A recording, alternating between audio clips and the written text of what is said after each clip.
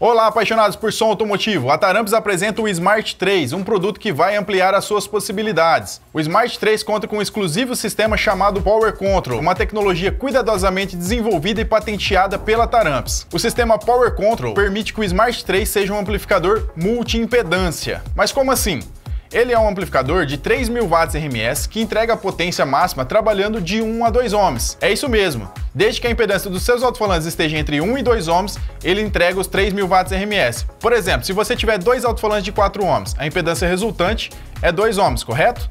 Então nessa impedância, o amplificador vai te fornecer os 3.000 watts.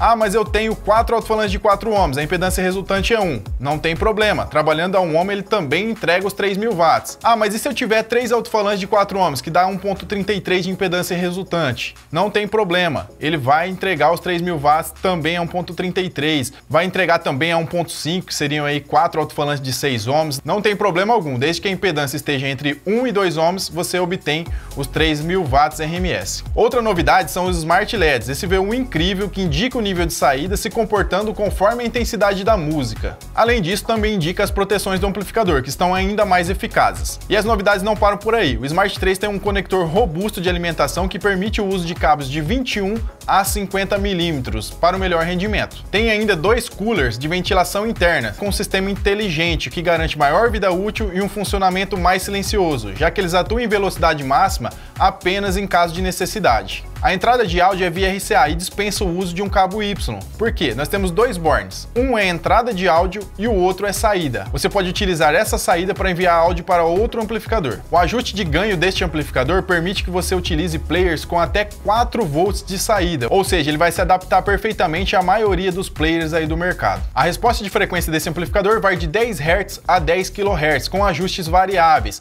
Temos aqui o nosso High Pass, que é o filtro passa alta variável de 10 a 90 Hz, e o nosso Low Pass, que é um filtro passa baixa, variável de 90 Hz a 10 kHz. E ainda o Bass Boost, que é um reforço para os graves, com amplitude de 0 a 10 dB, com possibilidade de variar a frequência de reforço aí de 35 a 55 Hz. E é claro que não poderia faltar a tradicional saída para o monitor de LED, que já acompanha o produto. Gostou do Smart 3? Então corre e garanta já o seu, porque esse aqui já é meu. Até a próxima, pessoal!